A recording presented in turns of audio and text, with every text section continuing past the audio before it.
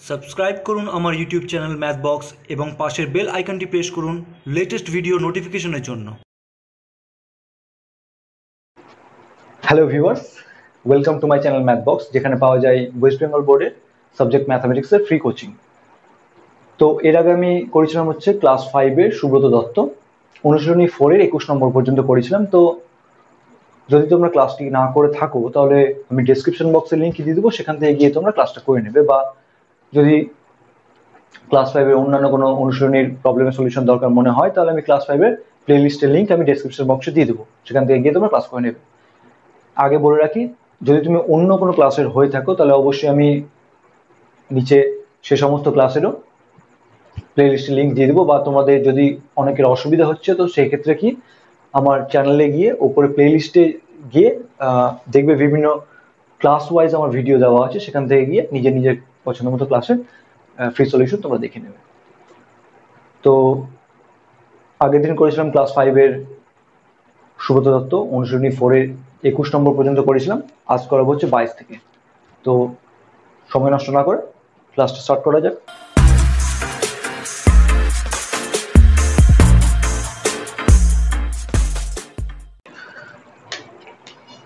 আচ্ছা বাইশ নম্বরটা দেখো কি বলা আছে? রাম প্রতি মাসে চার হাজার পাঁচশো টাকা হিসেবে সাত মাস খরচ করে, কিছু টাকা সঞ্চয় করে। তারপর সে প্রতি মাসে পাঁচ হাজার সাতশো টাকা করে, পাঁচ হাজার সাতশো টাকা হিসেবে খরচ করে করতে আরম্ভ করে। বছরের শেষে তার কোনো সঞ্চয় রইল না। রামের মাসিক আয় নির্ণয় করো। এখানে কি বলা হয়েছে? এখানে দেখো, এই অঙ্কটা ঠিক হচ্ছে আগের অঙ্কের মতো। তো আগের অঙ্কটা ভালো করে দেখে নেবে। না দেখলে আমি ডেসক্রিপশন বক্সে লিখ দিয়ে দিয়েছি। সেখান থেকে তুমি দেখে নেবে, আগে ক্লাসটি করে নেবে। কারণ একুশ নম্বর আর বাইশ নম্বর একদম একই। এখানে কি বলা হয়েছে? এখানে দেখো বলা হচ্ছে, রাম প্রতি মাসে চার হাজার পাঁচশো টাকা হিসেবে সাত মাস খরচ করে কিছু টাকা সঞ্চয় করে।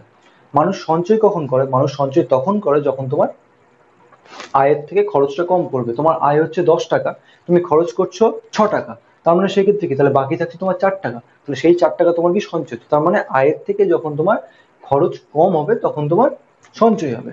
তাহলে সেই ক্ষেত্রে এখানে বলেছে কি, প্রতি মাসে চার হাজার পাঁচশো টাকা করে খরচ করেছে, সাত মাস সাত মাস খরচ করেছে। তাতে তার কিছু টাকা সঞ্চয় হয়েছে। তার মানে কি? তার মানে আয় সমান সমান সাত মাসের আয় সমান সমান কি আমি কি বললাম? আয় কার সঙ্গে সমান হবে? আয় হবে খরচ যোগ সঞ্চয়। তার মানে খরচ ছ টাকা ছিল, দশ টাকা বললাম আয়, দশ টাকা যদি আয় হয় তাহলে সেক্ষেত্রে তুমি ছ টাকা খরচ করছ, চার টাকা সঞ্চয় হচ্ছে। তাহলে ছ টাকা মানে তাহলে খরচ যোগ সঞ্চয় মানে ছ টাকা খরচ যোগ চার টাকা সঞ্চয় সমান সমান কত বেরোচ্ছে? তোমার আয়। ছোট সংখ্যা দিয়ে বোঝালাম, এবার বড় সংখ্যা দিয়ে। তার মানে এখানে কি বলছে? সাত মাসের খরচ।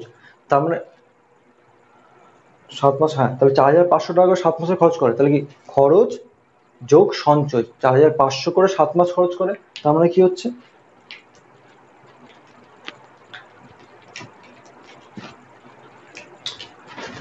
বাইশ নম্বর। কত বলেছে চার হাজার পাঁচশো টাকা করে সাত মাস? তার মানে কি? এক মাসে সাতশো এই চার হাজার পাঁচশো টাকা তাহলে সাত মাসে কত হবে? চার হাজার পাঁচশো গুণ সাত, তাহলে চার হাজার পাঁচশো গুণ সাত। এটা খরচ? এর সঙ্গে কি হয়? এর সঙ্গে সঞ্চয়টা যোগ হবে। তবে আমি আয়টা পাচ্ছি যখন সঞ্চয় করছে। তাহলে যোগ সঞ্চয় সমান সমান কি হচ্ছে? সাত মাস ধরে খরচ করেছে, তার মানে কি? সাত মাসের আয়। সাত মাসের আয়। ভালো করে বুঝবে, খুব সুন্দর অঙ্ক স্টার দেবে, খুব সুন্দর হবে। তাহলে কি হচ্ছে? তোমার তাহলে সাত মাসের খরচ যোগ সাত মাসের সঞ্চয় সমান সমান সাত মাসের আয়। ঠিক আছে? তো সাত মাসের সঞ্চয় না, শুধু সঞ্চয় করলাম। আচ্ছা এরপরে বলেছে প্রত্যেক মাসে তোমার পাঁচ হাজার সাতশো টাকা হিসেবে খরচ করেছে, তাতে তার যা সঞ্চয় ছিল সেটা সব চলে গেছে। তার মানে কি? এবার দেখো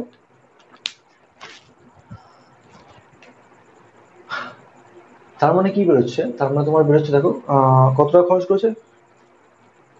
পাঁচ হাজার সাতশো টাকা করে প্রতি মাসে পাঁচ মাস খরচ করেছে, তাই তো কত মাস করেছে তারপর সে প্রতি মাসে প্রতি মাসে মানে কি? সাত মাস আগের খরচ করে দিয়েছে, তাহলে এবার তাহলে বছরের শেষে মানে আর কত? বারো মাসে এক বছর হয়, তাহলে সেক্ষেত্রে সাত মাস হয়ে গেছে, তাহলে বাকি থেকে তোমার আর পাঁচ মাস, তাহলে বাকি পাঁচ মাস তোমার কত করে খরচ করেছে? পাঁচ হাজার সাতশো করে খরচ করেছে। তাহলে বাকি পাঁচ মাস, তাহলে পাঁচ হাজার সাতশো টাকা করে খরচ ইন্টু পাঁচ পাঁচ মাস করেছে। এবার এই খরচটা করার ফলে তার কি হয়েছে? সঞ্চয় আর কিছু থাকল না। সঞ্চয় তার মানে কি? সঞ্চয় যা জমেছিল তাহলে সেই সঞ্চয়টা বিয়োগ হয়ে গেল। এটা সঞ্চয় জমেছিল, সঞ্চয় বিয়োগ হয়ে গেল। মানে সঞ্চয় থাকল না। তার এটা যখন, তার মানে কি? এই যে এই টাকাটা খরচ করছে, এটা অতিরিক্ত টাকা খরচ করেছে মানে আয়ের থেকে অতিরিক্ত টাকা। আয়ের থেকে বেশি টাকা খরচ করছে বলেই তার সঞ্চয়টা মানে কি? আমার ধরো আমার দশ টাকা সঞ্চয় করা আছে, আমার আমার আয় হচ্ছে দশ টাকা সঞ্চয় করা আছে। এবার আমার প্রত্যেক মাসে আয় হচ্ছে দশ টাকা। এবার আমি খরচ করছি এগারো টাকা, তাহলে বাকি এক টাকা আমি কোথায় পাবো? তাহলে আমি দশ টাকার আয় আমার, তাহলে সেক্ষেত্রে আমি দশ টাকা খরচ করছি প্লাস আমার আরও এক টাকা বেশি দরকার, সেই এক টাকা কোথা থেকে নিবো? আয়, সঞ্চয় থেকে নিবো আমি। যেটা সঞ্চয় ছিল, সেই সঞ্চয় থেকে আমি এক টাকাটা নিয়ে নেব। তাহলে সেক্ষেত্রে কি হচ্ছে? তাহলে আমার আয় কত? জানা নেই আমার। তার মানে এখানে বলেছে এই টাকাটা যদি খরচ করা হয়, মানে পাঁচ হাজার সাতশো করে পাঁচ মাস যদি খরচ করে তাহলে সেক্ষেত্রে যা সঞ্চয় ছিল সব বাদ চলে যাবে। তাহলে সঞ্চয় তাহলে বাদ চলে গেল। এবার তাহলে দেখো আমি ওখানে কি বললাম দশ টাকা আমি আয় করছি তাতে আমি খরচ করছি এগারো টাকা। এবার দেখো তাহলে এগারো টাকা খরচ করছি সেখান থেকে আমার এক টাকা সঞ্চয় যদি আমি এক টাকা বাদ দিয়ে দিই এগারো মাইনাস এক তাহলে কি পড়ে থাকল? এগারো মাইনাস এক সমান দশ। দশ টাকাটা কি ছিল? আমার সঞ্চয় আমার আয় ছিল। আমার আয় ছিল দশ টাকা আমি খরচ করছি এগারো টাকা। তার মানে কি? আমার খরচ হচ্ছে এগারো টাকা সেখান থেকে যদি আমি এক টাকা বাদ দিয়ে দিই, তার মানে কি পড়ে থাকছে? আমার আমার আয়টা পড়ে থাকছে। তেমন দেখো, আমি খরচ করেছি এত টাকা, আর সঞ্চয়টা বাদ দিয়ে দিলাম। যেটা সঞ্চয় খরচ করছিলাম, আমি সেটা বাদ দিয়ে দিলাম। বাদ দিয়ে দিলে কি পড়ে থাকল? তাহলে পড়ে থাকল শুধু আয়। তো সেটাই লিখছি এখানে। তাহলে পাঁচ মাসের আয়। পাঁচ মাসের আয়। ওকে? এবার দেখো, এখানে তাহলে কি হবে? এর আগের দিন বলেছিলাম, সঞ্চয় যোগ সঞ্চয় বিয়োগ সঞ্চয় কেটে যাবে। তাহলে পড়ে থাকল কি? এখানে তাহলে সাত সাত যোগ পাঁচ মানে এগুলো সব যোগ হ্যাঁ? এগুলো সব যোগ। সাত যোগ পাঁচ সমান সমান বারো মাসের আয়। বারো মাসের আয় সমান কত হচ্ছে? এটা সমান সমান। এটা গুণ করো, কত হচ্ছে? দেখো, এটা যোগ, এটা। এখানে সবকটা কিন্তু যোগ হচ্ছে হ্যাঁ? এটা যোগ, এটা। এটা যোগ, এটা। কিন্তু এখানে একটা যোগ বিয়োগ আছে বলে এই দুটো কেটে যাচ্ছে। কারণ আমরা জানি হচ্ছে দুই বিয়োগ দুই। এরকম কেটে যায়, ঠিক আছে? কেটে যায় বলে এখানে কেটে দিলাম, তোমরা বড় আরও ভালো করে শিখবে। তো একটা যোগ, একটা বিয়োগ থাকলে কেটে দেবে। তো এখানে তাহলে গুণ করে কত হচ্ছে এখান থেকে পঁয়ত্রিশ, একত্রিশ, শূন্য শূন্য যোগ কত হচ্ছে এখানে? পাঁচ সাথে পঁয়ত্রিশ, পঁচিশ, ছাব্বিশ, সাতাশ, আঠাশ, শূন্য শূন্য। এত টাকা হচ্ছে। তার মানে বারো মাসের আয় সমসম কি হচ্ছে? এদের যোগফল যোগ করা তাহলে অতএব বারো মাসের আয়, বারো মাসে আয় সমান কত হচ্ছে? এদের যোগফল এদের যোগফল মানে কত হচ্ছে? শূন্য, পাঁচ পাঁচ, শূন্য, দশ আট একে নয় দশ তিন দুই পাঁচ ছয়। ষাট হাজার টাকা হচ্ছে তোমার বারো মাসের আয়। তাহলে এক মাসের আয় তাহলে কত হবে? বারো দুই ভাগ, তাহলে অতএব এক মাসের আয় সমান সমান ষাট হাজার ভাগ বারো। ভালো করে বুঝবে, খুব সুন্দর অঙ্ক এটা পাঁচ হাজার টাকা। তাহলে এক মাসের তাহলে আয় হলো পাঁচ হাজার টাকা। টাকা লিখে দাও আনসার হয়ে গেল। এটা এখানেই চেয়েছে মনে এটা? কি চাইছে? রামের মাসিক আয় নির্ণয় করি। হ্যাঁ মাসিক আয় মানে হচ্ছে এক মাসের আয়, তাহলে এক মাসের আয় বেরিয়ে গেল। এই জায়গাটা ভালো করে বুঝবে জায়গাটা খুব ইম্পর্টেন্ট আমার, আমি আবার বোঝাচ্ছি জায়গাটা। এই জায়গাটা কি করে হবে? ধরো আমার আমি পাঁচ টাকা সঞ্চয় করে রেখেছি। আমি প্রত্যেক মাসে আমার আয় হচ্ছে আমার ইনকাম করি দশ টাকা। আমি খরচ করছি এক টাকা, তাহলে সেই এক টাকা আমি কোথেকে পাবো? সঞ্চয় থেকে পাবো আমি। তাহলে এবার যদি আমি খরচ তাহলে তাহলে আমার খরচ তোমার এগারো টাকা খরচ। এবার এগারো টাকা খরচ থেকে আমি ক টাকা সঞ্চয় থেকে নিয়েছি? এক টাকা সঞ্চয় থেকে নিয়েছি। সেই সঞ্চয় যদি বাদ দিয়ে দিই, তাহলে কি পড়ে থাকল? মানে এগারো টাকা থেকে আমি এক টাকা বাদ দিলাম, এক টাকা সঞ্চয় থেকে নিয়েছিলাম, সেটা বাদ দিয়ে দিলাম, তাহলে কি পড়ে থাকল? এগারো মাইনাস এক তাহলে আমার আয়টা পড়ে থাকল। ঠিক সেই জিনিসটা এখানে করেছি। টোটাল খরচ যেটা করছিল, তাতে তোমার সঞ্চয় থেকেও নিতে হচ্ছিল। এবার যদি আমি সঞ্চয়টা বাদ দিয়ে দিই, তাহলে কি পড়ে থাকছে? তাহলে শুধুমাত্র আয়টা পড়ে থাকছে। তাহলে সেই হিসাবে তাহলে হলো ক্যালকুলেশন করে বেরোলো তোমার এক মাসের আয় পাঁচ হাজার টাকা। খুবই সুন্দর অঙ্ক স্টার দেবে, খুব সুন্দর অঙ্ক পরীক্ষায় আসে। এরপর দেখো তেইশ এবং চব্বিশ নম্বর অঙ্কটা কি? একই টাইপের অঙ্ক, আমি জাস্ট আগে ছোট ছোট সংখ্যা দিয়ে বোঝাচ্ছি। ধরো আমি পঁচিশকে ভাগ করলাম দুই দিয়ে। পঁচিশকে দুই দিয়ে ভাগ করলাম, তাহলে কত হবে? দুই এককে দুই পাঁচ নম্বর দুই দুই, চার। এক। তার মানে এখানে কি হচ্ছে? দেখো, এখানে যদি আমি এটাকে বলা হচ্ছে তোমার পঁচিশটাকে বলা হয় ভাজ্য, এটাকে বলা হয় ভাজক, এটাকে ভাগফল। এটা হচ্ছে ভাগশেষ। তার মানে যদি ভাগশেষ থাকে, একটা ভাগে যদি ভাগশেষ থাকে, তাহলে সেক্ষেত্রে এটা কি? এটা হচ্ছে এক্সট্রা এই একটা এক্সট্রা আছে বলেই আমার ভাগফলটা পুরোপুরি যাচ্ছে না। তার মানে যদি এই একটা এক্সট্রা যদি না থাকতো, তাহলে ভাগফলটা চলে যেত। না থাকা মানে কি? সেটা বিয়োগ তার মানে পঁচিশ বিয়োগ এক যদি করতাম, তাহলে চব্বিশ। তার মানে চব্বিশ হচ্ছে পুরোপুরি তাহলে ভাগ চলে যেত। এক্সট্রাটা বাদ দিয়ে দিলাম। যেটা এক্সট্রা সেটা বাদ দিয়ে দিলাম, তাহলে কি হচ্ছে? আমার সম্পূর্ণ ভাগ চলে যাচ্ছে। ঠিক সেই জিনিসটা এখানে বলেছে। এখানে তেইশ নম্বর কি বলেছে? আট হাজার সাতশো পাঁচ থেকে কমপক্ষে কত বিয়োগ করলে বিয়োগফল পঁচিশ দ্বারা বিভাজ্য?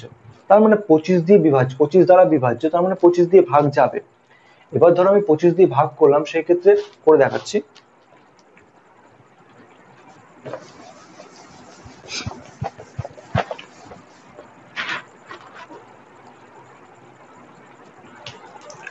তেইশ নম্বর বলেছে আঠাশ, সাতশো পাঁচে কত কত দিয়ে বিয়োগ করলে, থেকে কত বিয়োগ করলে তোমার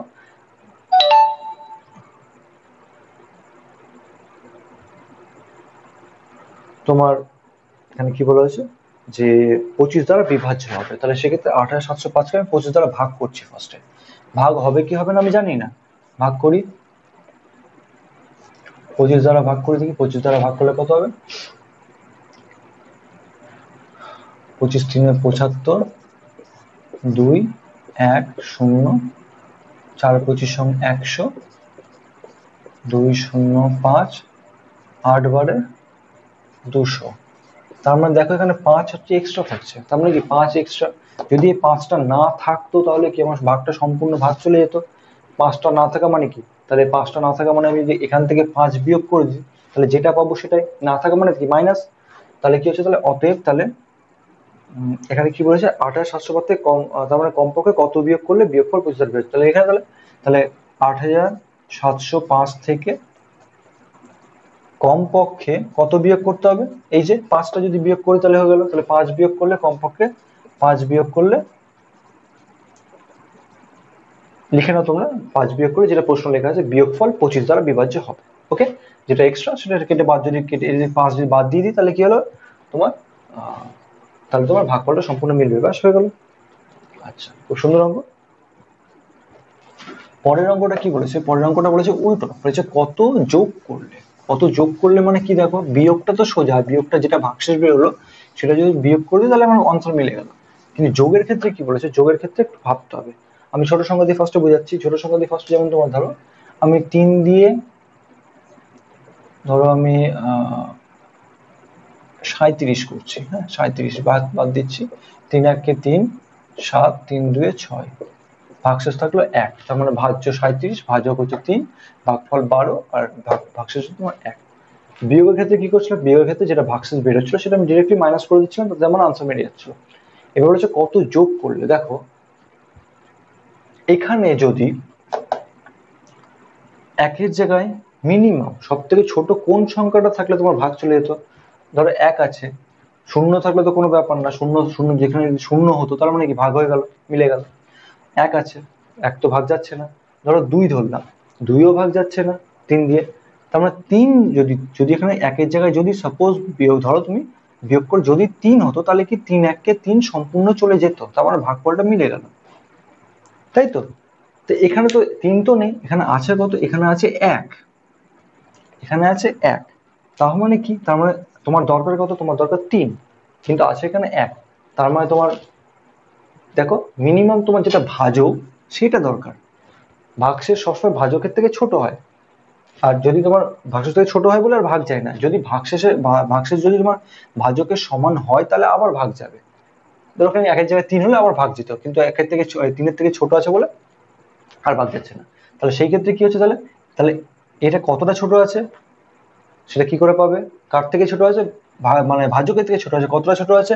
বিয়োগ করলে পেয়ে যাবে। তাহলে তিন মাইনাস এক সমান সমান দুই ছোট আছে। তাহলে এর সঙ্গে যদি দুই যোগ করা হয়, তাহলে কি হবে? দুই যোগ করলে আমি তিন পেয়ে যাব। তার মানে কি তিন পেয়ে গেলাম? তাহলে তিন দিয়ে ভাগ চলে গেল। ক্লিয়ার ব্যাপারটা?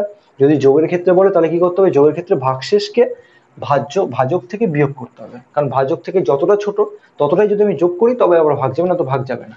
তো সেটাই হচ্ছে এখানে এক ভাজকের থেকে দুই ছোট, কারণ মাইনাস করে পেলাম দুই। তাহলে সেটা যোগ, যদি যোগ যোগ করা হয়, তাহলে আমার ভাগটা সম্পূর্ণ হয়ে যাবে মানে ভাজ্য মানে বিভাজ্য হয়ে যাবে। ঠিক আছে? এটা ছোট সংখ্যা দিয়ে বোঝালাম, এবার বড় সংখ্যা দিয়ে কি বলেছে দেখো?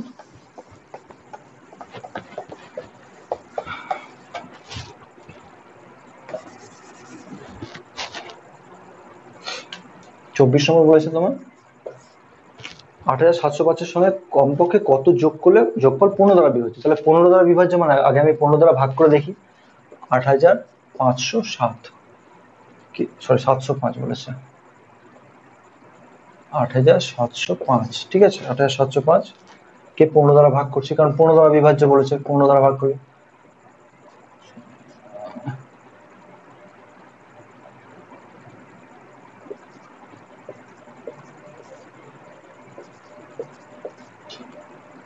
ছয় পনেরো সাত পনেরো একশো পাঁচ। নামলো তোমার পনেরো, পঞ্চান্ন, তাহলে?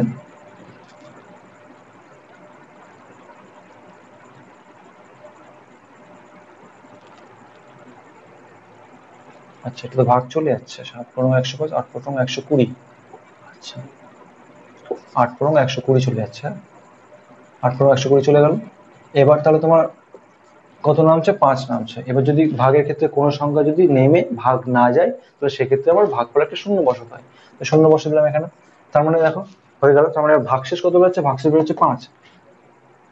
এটা ভাগশেষ তাহলে ছোট। কার থেকে ছোট? ভাজকের থেকে ছোট। কতটা ছোট? তাহলে এই যে, তাহলে অতএব কত ছোট? পনেরো বিয়োগ পাঁচ সমান সমান দশ ছোট। তার মানে এর সঙ্গে যদি, এর সঙ্গে যদি যদি দশ যোগ করা হয়, তাহলে কত পাবো? আবার পনেরো পেয়ে যাব। পনেরো পেয়ে গেলে পনেরো একে পনেরো চলে যাবে। ঠিক আছে? তার মানে কি হচ্ছে? তাহলে যোগ যদি বলে, তাহলে যোগের ক্ষেত্রে কি করতে হবে? ভাগশেষ কতটা ছোট, সেটা ভাজকের থেকে মাইনাস করে পেয়ে যাব, সেটাই যোগ করলে পেয়ে যাবে। ঠিক আছে? তাহলে এখানে আনসার তাহলে কি হচ্ছে? এখানে আনসার হবে কি? এটা তো এইভাবে করা যাবে না? লেখার সময় লিখতে লিখতে হবে। যে আট হাজার সাতশো পাঁচের সঙ্গে কমপক্ষে তাহলে আট হাজার সাতশো পাঁচ এর সঙ্গে কমপক্ষে তাহলে কত যোগ করতে হবে? কমপক্ষে কমপক্ষে কত?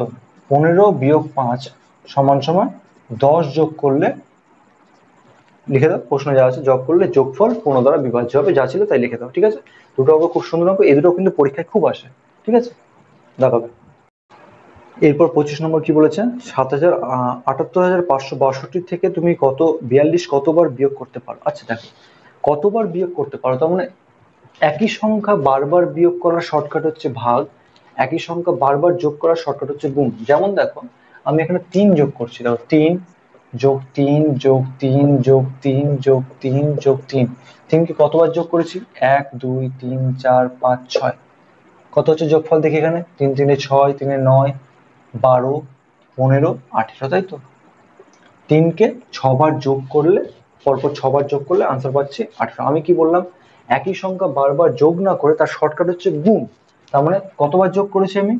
তিনকে যোগ করেছি ছবার, তাই তো? তাহলে তিন গুণ ছয় যদি করে দিই, সমান সমান আঠারো, দেখো একই অ্যান্সার বেরোলো। তার মানে এত বড় বড়, এত বড় যোগের শর্টকাট বেরোলো, তাহলে গুণ। ধরো আমি পাঁচকে যোগ গুণ পাঁচকে যোগ করছি তিনবার।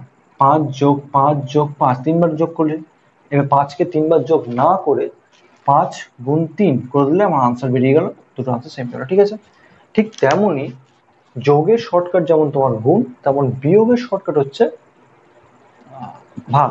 মানে একই সংখ্যা কোনো সংখ্যা থেকে একই সংখ্যা বারবার বিয়োগ করা মানে হচ্ছে বারবার বিয়োগ না করে ভাগ করে নিলে একই আনসার ঠিক আছে?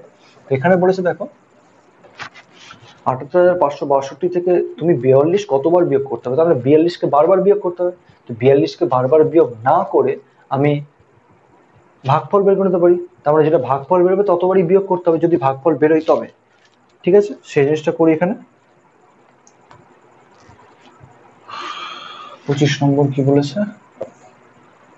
আটাত্তর হাজার পাঁচশো বাষট্টি, তাহলে ডিরেক্টলি করছি আটাত্তর হাজার পাঁচশো বাষট্টি।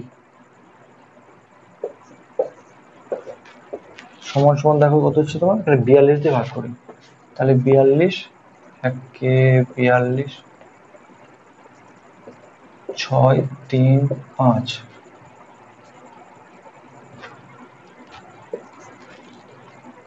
ষোলো, তেত্রিশ, নয়, চার, দুই ছয় চোদ্দ। সাতবারে যাবে, সাত দিয়ে চোদ্দ, উনত্রিশ, দুই দুই। দেখো, আর ভাগ যাচ্ছে না। ঠিক আছে? তার মানে এখানে কি হচ্ছে তোমার তাহলে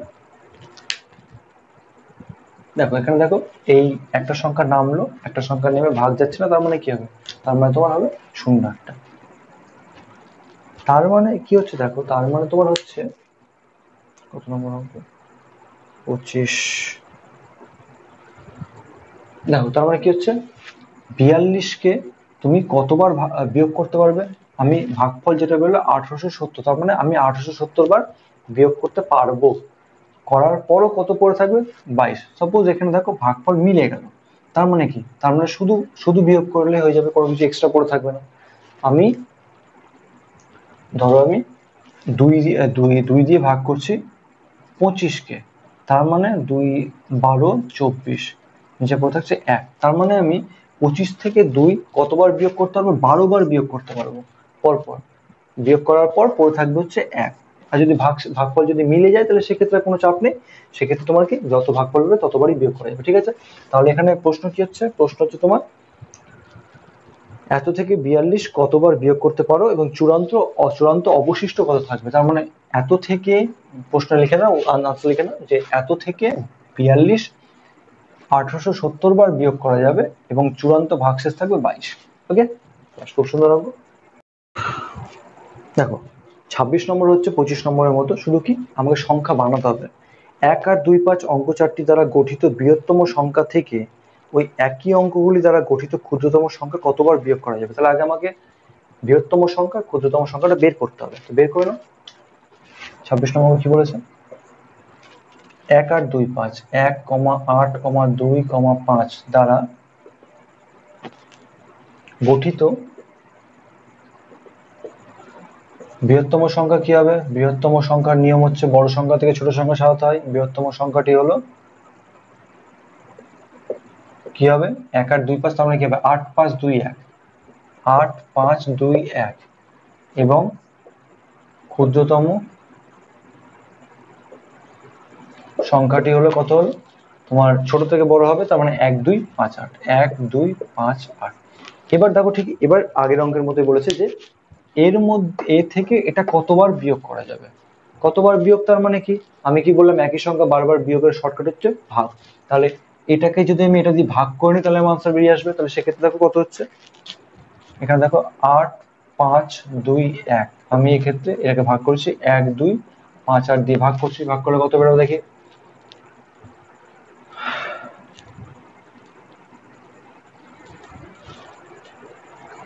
ছয় দিয়ে যাবে।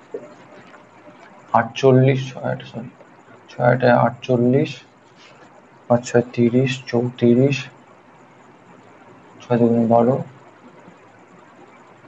পনেরো, ছয় ছয় সাত। তাহলে কত হচ্ছে তোমার? তিন, এখানে পাঁচ, সাত, এখানে তোমার ছয়, নয়, ব্যাস। তোমার হচ্ছে কত তোমার? নশো তিয়াত্তর। তার মানে এখানে কি বলেছে? গঠিত ক্ষুদ্র সংখ্যা হ্যাঁ এই যে তার মানে কি? তার মানে হচ্ছে তোমার এখানে ভাগশেষ আছে, তার মানে কি এটা অবশিষ্ট পড়ে থাকবে। আর কতবার বিয়োগ করা যাবে? ছবার বিয়োগ করা যাবে। যেমন ঠিক আগে অঙ্কে করলাম, যেটা ভাগ ভাগফল ততবার বিয়োগ করা যাবে, আর যেটা ভাগশেষ, সেটা তাহলে অবশিষ্ট পড়ে থাকবে। আনসার দিয়ে কত আছে? ব্যাস, নশো তিয়াত্তর। তাহলে কি হচ্ছে? তাহলে আনসার লিখে নাও, যে কি? যা আছে, এক, দুই, এক আর দুই, পাঁচ অঙ্ক চারটি দ্বারা গঠিত বৃহত্তম সংখ্যা থেকে ওই একই অঙ্কগুলি দ্বারা গঠিত ক্ষুদ্রতম সংখ্যা ছবার বিয়োগ করা যাবে এবং শেষ পর্যন্ত কত অবশিষ্ট থাকবে? শেষ পর্যন্ত নশো তিয়াত্তর অবশিষ্ট থাকবে ঠিক আছে? খুব সুন্দর অঙ্ক। এরপর সাতাশ নম্বর দেখো কি বলা আছে? কোন এক পরীক্ষায় একজন ছাত্র বাংলা ও ইংরেজিতে মোট পেয়েছে একশো পঁয়ত্রিশ নম্বর। আমি সম্পূর্ণ পড়ছি না, আগে আগে লিখে নিচ্ছি, দেখো বুঝতে পারবে তাহলে। সাতাশ নম্বর কি বলেছে বাংলা ও ইংরেজিতে মোট পেয়েছে একশো পঁয়ত্রিশ নম্বর। তাহলে লিখেছে বাংলা যোগ ইংরেজি। সমান কত হচ্ছে? কত নম্বর পেয়েছে? একশো পঁয়ত্রিশ নম্বর, সেটাই লিখলাম আমি, একশো পঁয়ত্রিশ নম্বর। তারপর কি বলেছে? তারপর বলেছে, ইংরেজি ও অঙ্কে মোট পেয়েছে একশো পঞ্চাশ নম্বর। তাহলে সেটাই লিখছি আমি নিচে। ইংরেজি যোগ অঙ্ক। কত পেয়েছে? একশো পঞ্চাশ নম্বর। একশো পঞ্চাশ নম্বর। আর কি বলা আছে? বাংলা ও অঙ্কে মোট। তাহলে বাংলা যোগ অঙ্ক। সমস্যা কত হচ্ছে তোমার দেখো? একশো পঁয়ষট্টি নম্বর, একশো পঁয়ষট্টি নম্বর, ঠিক আছে? এবার দেখো, আমি যদি এই তিনটেকে যোগ করি, দেখো তুমি বাংলা দুবার পাচ্ছ, বাংলা বাংলা, ইংরেজি দুবার পাচ্ছ, ইংরেজি ইংরেজি, অঙ্ক অঙ্ক। এবার কি সব দুটো সব দুটো দুটো করে যাচ্ছে? তাহলে দুটো ইংরেজি, দুটো বাংলা আর দুটো অঙ্ক হচ্ছে। তাহলে সেই ক্ষেত্রে কি আমি বারবার দুই দুই করে না লিখে আমি একবারে সব কটা দুই দিয়ে গুণ করতে পারি? দুই দিয়ে গুণ করে মানে কি? দেখো বারবার প্রত্যেকের সঙ্গে দুই না করে সবগুলোর সঙ্গে একসঙ্গে দুই গুণ করা। তার মানে কি হচ্ছে? এখানে যোগ করলে পাচ্ছি হচ্ছে বাংলা যোগ অঙ্ক যোগ ইংরেজি। কত পাচ্ছে? এটা এটা সব কটা দেখো দুবার করে আছে, তাহলে কি? সব কটার সঙ্গে ব্র্যাকেট দিয়ে দুই গুণ করে দিচ্ছি। এটা কত পাচ্ছে? এটা সমান সমান, তাহলে এদিকে এদিকে এদিকে যোগ করলাম, তাহলে গুলো আমাকে যোগ করতে হবে, তাহলে করছি করো। পাঁচ পাঁচে শূন্য। ছয় তিন নয়, পাঁচে চোদ্দ, পনেরো, পাঁচ, আর তারপরে এক, একে দুই, তিন, চার, চারশো পঞ্চাশ। টোটাল হচ্ছে তোমার কি? মানে দুই গুণ দুই গুণ দুই গুণ বাংলা যোগ অঙ্ক যোগ ইংরেজি সমান সমান চারশো পঞ্চাশ। কেন দুই গুণ করলাম? কারণ প্রত্যেকটা দুটো দুটো করে আসতে বলে আমি দুই দিয়ে একবারে গুণ করে দিলাম। তাহলে তাহলে অতএব বাংলা যোগ অঙ্ক যোগ ইংরেজি সমস্যা কত হচ্ছে?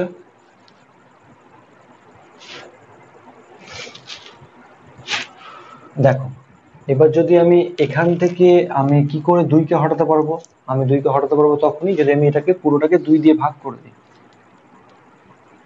তাহলে দেখো, আমি যদি এদিকেও দুই দিয়ে ভাগ করি একবার করবে না, দরকার নেই, একবার করে নাও। দেখো, এখানে দুই আছে তো, দুই এখানে গুণ আছে। এ পাশে চলে গেলে সেটা দুই হয়ে যাবে ভাগ হয়ে যাবে। এটা একটু বড়দের নিয়ম, মনে রাখো। বা নর্মালি এভাবেও করা যাবে, তুমি এ পাশেও দুই দিয়ে ভাগ, এ পাশেও দুই দিয়ে ভাগ।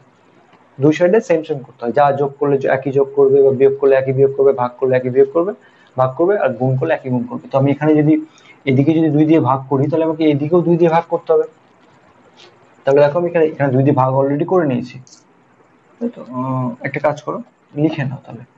অতএব দুই গুণ, তাই তো? এটা করলাম, ভাগ দুই নিচে দুই লিখলাম। সমান সমান এখানে কি লিখছি? চারশো পঞ্চাশ, ওপরে তাহলে চারশো পঞ্চাশ, নিচে দুই। পাশে লিখবে, এখানে লিখবে যে উভয় পাশে দুই দিয়ে ভাগ করবে। এখানে কিন্তু থার্ড ব্র্যাকেটে অবশ্যই লিখবে, উভয় পাশে দুই দিয়ে ভাগ করে পায়। ঠিক আছে? এই উপরটা মেটাচ্ছি আমি।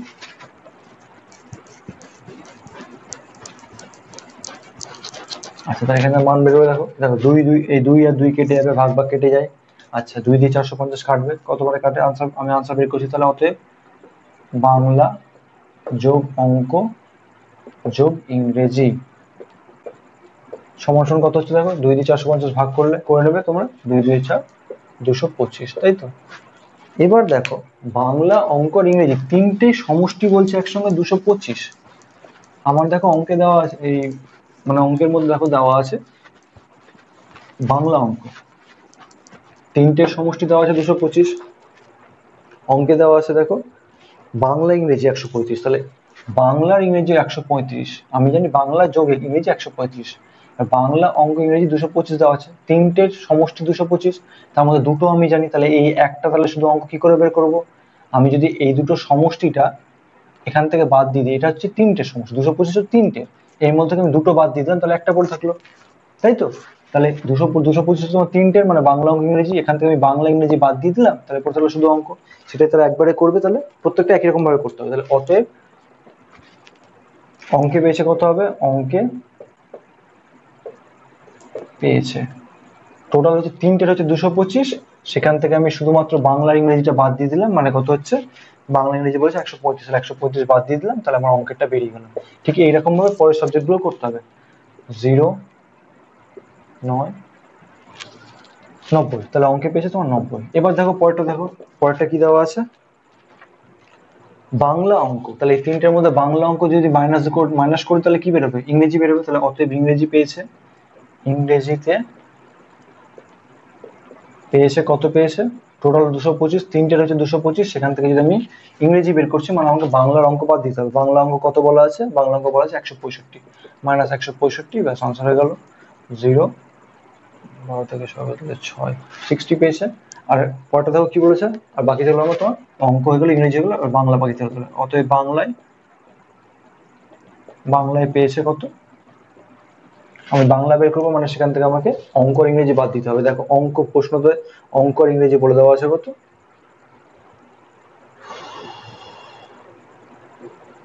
কোথায় গেল। ও, ইংরেজি অঙ্ক বলেছে, ওরা আগে বলে দেওয়া আছে পরে করছি, একই ব্যাপার, করলে অসুবিধা নেই। ইংরেজি অঙ্ক বলা আছে একশো পঞ্চাশ, তাহলে এখান থেকে আমি একশো পঞ্চাশ বাদ দিয়ে দিই। দুশো পঁচিশ বিয়োগ একশো পঞ্চাশ সমান সমান পাঁচ, সাত, পাঁচে, বারো, পঁচাত্তর। ঠিক আছে? এত নম্বর, নব্বই নম্বর নম্বর লেখা লিখতে পারো নাও লিখতে পারো, অসুবিধা নেই। তাহলে আনসার মিলিয়ে নিই, কত হচ্ছে? পড়ে যাচ্ছিল। আচ্ছা বাংলায় পঁচাত্তর নম্বর, বাংলায় পেয়েছে পঁচাত্তর নম্বর, ঠিক আছে? ইংরেজিতে ষাট নম্বর, ইংরেজিতে সিক্সটি নম্বর, আর অঙ্কে পেয়েছে নব্বই নম্বর, ঠিক আছে? হ্যাঁ লিখে নাও নম্বরগুলো। নম্বর নম্বর ওকে? ওকে? চলাম আজ তাহলে এত দূর থাক। তো আজ করালাম হচ্ছে সাতাশ পর্যন্ত। এরপর বাকি থাকল চ্যাপ্টার শেষ হতে আঠাশ, উনত্রিশ, তিরিশ। এই তিনটা অঙ্ক বাকি থাকল। তো আজকের ক্লাস করে নিয়ে তোমরা অবশ্যই কমেন্ট বক্সে আমাকে কমেন্ট করে জানাও যে নেক্সট কোন চ্যাপ্টার স্টার্ট করব। তাহলে আমার সুবিধা হবে। আমি তাহলে নেক্সট ক্লাসে আমি আঠাশ, উনত্রিশ, তিরিশ এই তিনটা অঙ্ক করিয়ে আমি নেক্সট চ্যাপ্টার স্টার্ট করে দেবো। তো তার আগে বলে রাখি, যদি তুমি নতুন হয়ে থাকো, তাহলে দেখো পাশে ওখানে নিচের দিকে একটা লাল রঙের সাবস্ক্রাইব বাটন আছে। সেই সাবস্ক্রাইব বাটন তুমি সাবস্ক্রাইব করে না থাকো, তাহলে তুমি ক্লিক করে নাও। ক্লিক করার সঙ্গে সঙ্গে দেখবে একটা বেল আইকন দেখাবে। তো উপরের বেল আইকনটা ক্লিক করে দেবে। কেন ক্লিক করবে? কারণ আমি নেক্সট যে ক্লাস ছাড়বো ভিডিও ছাড়বো, সেই ভিডিওর নোটিফিকেশন তুমি সবার আগে পেয়ে যাবে। এবার পেয়ে গেলে তুমি কি ঘরে বসে সমস্ত আমাদের সলিউশন সবার আগে করে নিতে পারবে। আর আমার ভিডিওগুলো যদি ভালো লেগে থাকে, তাহলে অবশ্যই লাইক করবে লাইক করার সঙ্গে সঙ্গে শেয়ার করবে। তো আজকের ক্লাস এই পর্যন্তই। সুস্থ থাকো, ভালো থাকো, দেখা হবে নেক্সট ক্লাসে ধন্যবাদ।